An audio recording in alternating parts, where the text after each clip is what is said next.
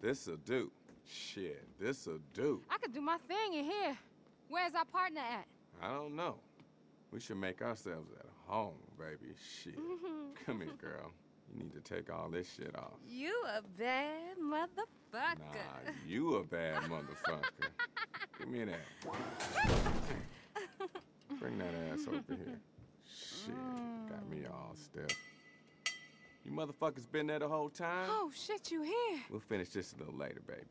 Come on, let's go and take care of this business.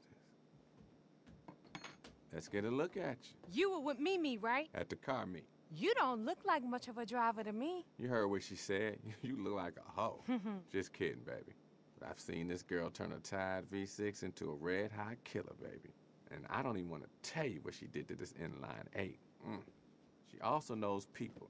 And if she's saying she don't like what the fuck she see, I'm sorry, motherfucker.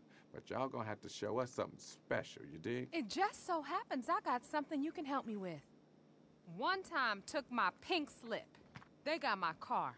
The same one you saw sitting at the meet. Get it out the impound lot and bring it back here. If you is what you say you is, it should be easy.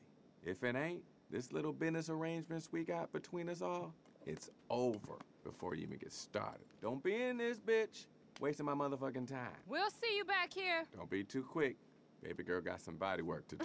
oh, do I now? oh, baby, bring that too. but I only use it for very special occasions. Special occasions is what I got right here in my pants.